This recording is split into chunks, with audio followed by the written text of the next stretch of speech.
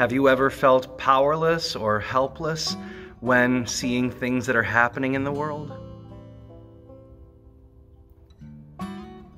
In this Lenten video series, I want to look at technological vices, things that uh, we mindlessly fall into when using technology, and to find a virtue that can counterbalance that. These are all coming from experience, from my own reflection and experience of, of technology. So, in this last one, I want to look at what it is when we're faced with major world issues, things that are affecting uh, people systemically, and, and things that seem out of our control. We might have the temptation to think that, well, I can't do anything about it on my own, so I'm not going to do anything. I'm just going to keep scrolling, or I'm going to prevent myself from reading more into it, or whatever it is. There's, there's a temptation sometimes to just shut down when faced with a serious crisis in our country or in our world.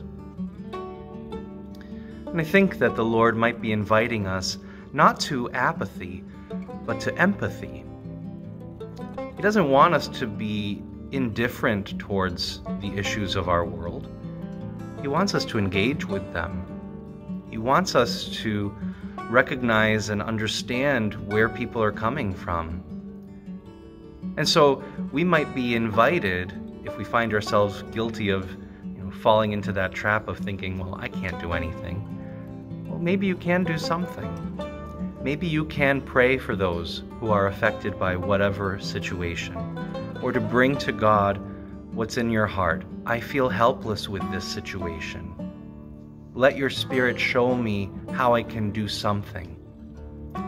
And even if it seems like nothing, you can do your part, whether it's signing a petition, whether it's engaging in a conversation with someone about whatever issue it may be. Those are ways for us to say, yes, I can't do everything. I can't solve this problem, but I can at least do my part.